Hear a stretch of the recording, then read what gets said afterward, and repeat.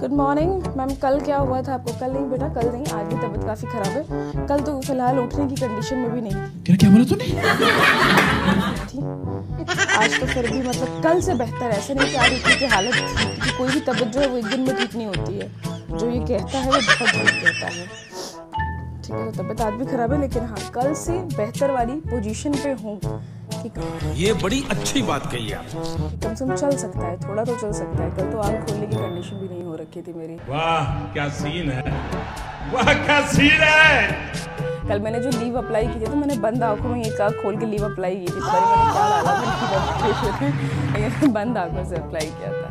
okay